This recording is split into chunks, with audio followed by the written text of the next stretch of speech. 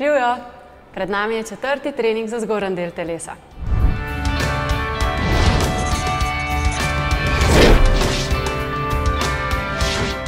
Pred nami je tretji sklop ogrevanja in sicer kar začnimo. Predstavljamo si, da imamo v rokah kolebnico in čist nežno poskakujemo v zrak. Pri tem smo pozorni še, da imamo odprt prsni koš in rahlo bomo začutili naša ramena, kako se počasi poleg nog ogrevajo. Če imate pravo kolebnico, ni tudi čisto nič narobe, če jo zraven vključite. Drugače pa uporabite svojo domišljijo. Tako. Nadaljujemo s poskoki iz leve na desno nogo in za trenutek zadržimo, da ujamemo ravnotežni položaj. Pomaga nam, če gledamo ves čas v eno točko, imamo stisnjene trebušne mišice in na ta način bistveno lažje ustvarjamo in ohranjamo fokus.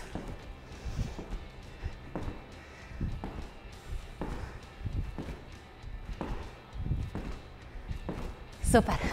Naslednja vaja, kar nadaljujemo s poskokci in sicer bojo zdaj sonožni.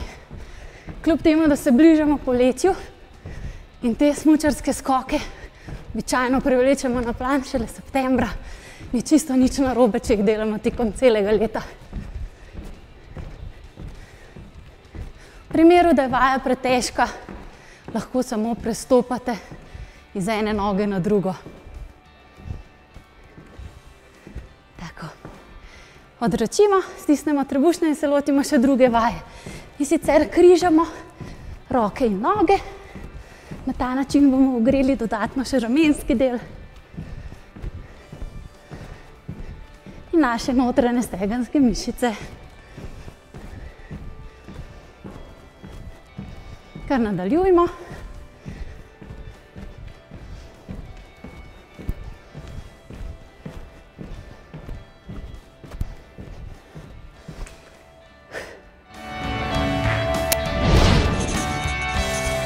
Pa kar začnimo s klecami. In sicer tokrat bomo roke postavili malenkost nižje kot prejšnjič, sicer pod linijo ram.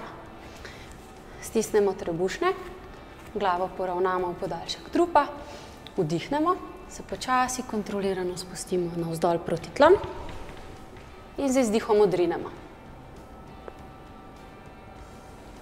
Komolci se prilegajo tesno ob telu. Na ta način boste še bolj intenzivno začutili vašo zadnjo nadlahtno mišico.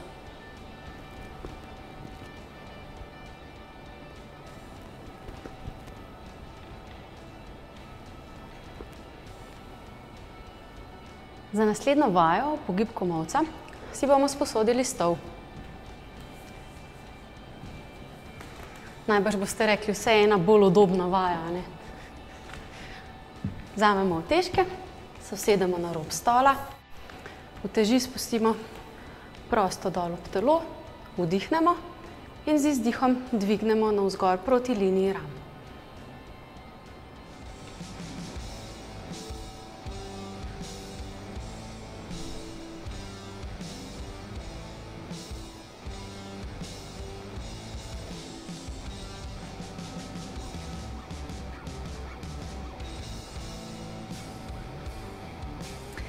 Naslednja vaja je vaja za naše ramenske mišice.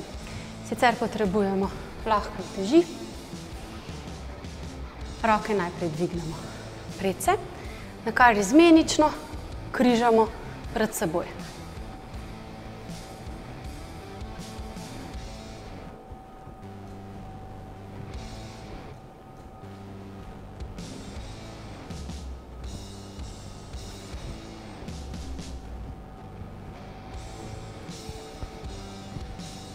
Naslednja vaja, veslanje, tokrat v različici na vseh štirih.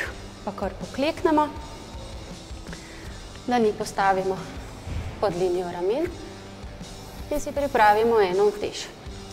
Stisnemo trebušne mišice, glava v podaljšku trupa, vdihnemo in z izdihom zaveslamo. Komolec potegnemo visoko gor proti stropu in hkrati ohranjamo stabilen položaj telesa.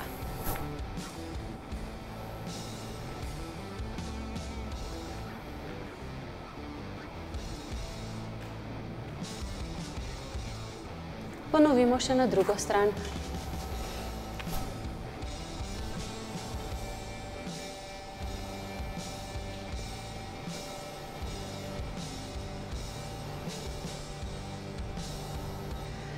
In še zadnja vaja za naše zadnje nadlahtne mišice.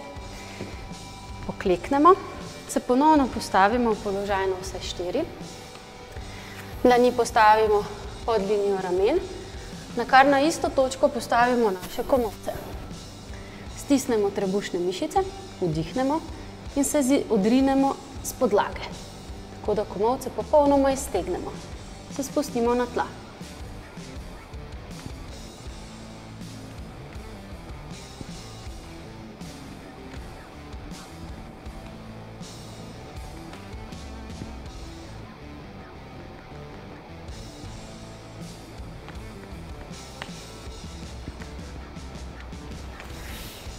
Pa smo vitalni za poletje. Pa smo prišli skoraj do konca. Zdaj nas čaka še samo vaje za raztezanje zgornjega dela telesa. Pa kar začnimo. Prste prepletemo, jih obrnemo stran od sebe in roki nežno potisnemo navzgor proti stropu. Na kar se čisto počasi in z občutkom nagnemo v eno stran, zadržimo nekaj sekund, počasi zravnamo in vajo ponovimo še na drugo stran. Super. Zdaj bomo raztegali našo nadlahtno mišico in sicer na ta način, da komolček pokrčimo in ga z nasprotno roko čisto nežno potisnemo nazaj med lopatice. Lahko še glavo nežno potisnete nazaj in tako boste začutili še boljši razteg.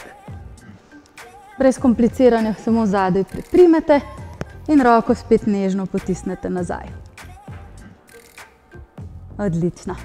Zdaj pa dlani prepletemo v zadaj, odpremo prsni koš in roke čisto počasi nežno dvignemo stran od zadnjice proti stropu. Ne pretiravajmo, vajo delamo z občutkom in jo prilagodimo svoji lastni gibljivosti. Tako. Raztegnimo še prsne mišice na drugačen način obrnemo dlani nazaj, da gledajo palci proti steni in počasi nežno potisnemo roke nazaj. Začutimo razteg prsnih mišic in zraven lepo in umirjeno dihamo.